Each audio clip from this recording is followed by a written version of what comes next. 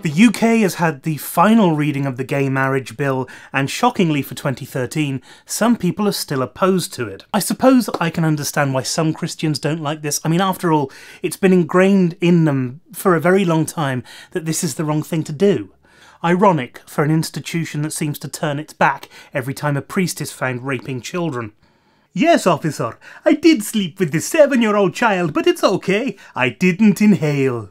So I tried to find out if there were any secular reasons for people opposed to two men or two women getting married and living together. The main one, we're told, is that it's the start of a slippery slope, presumably a slope with a gay man standing at the bottom with his arms outstretched, and that's why they're so scared. We're told that by redefining marriage, that we're opening the doors for later changes in the institution, and eventually people are just going to start marrying their farm animals. Well, not without a pretty big sea change. Do you take this donkey to be your lawfully wedded wife? I do, but I won't inhale.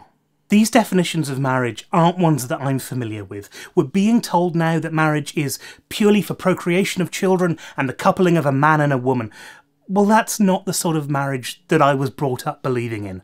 When I was a child, I was told that marriage was when two people loved one another, and it's when they wanted to spend the rest of their lives together. And that's what it is a name. It's just a label that we use to define when two people choose to live their lives together as one.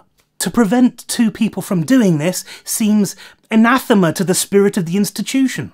And do we really need an institution to bring more children into the world? It seems to me like we do that well enough on our own.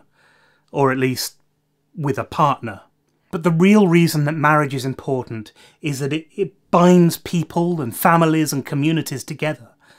And denying that to a certain part of our population, well, it does nothing to further the, the acceptance that gay people still strive for.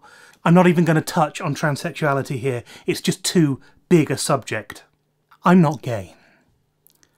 The passing of this bill is going to have no effect on my life. And I think that's why I believe in it. Because something that isn't going to affect anybody else is going to actually bring something good to those that it does. Why would anybody be against that? That's my opinion. Let me know yours by leaving a comment below.